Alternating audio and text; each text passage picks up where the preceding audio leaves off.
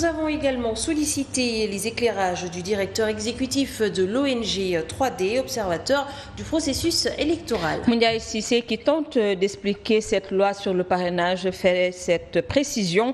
Le parrain n'est pas tenu de voter pour le candidat pour lequel il parraine sa candidature, euh, suivant ses explications. Il est exigé de tout candidat de déposer au plus 66 820 euh, signatures pour que sa candidature soit recevable. On parle de recevabilité ici. Et au moins 53 400.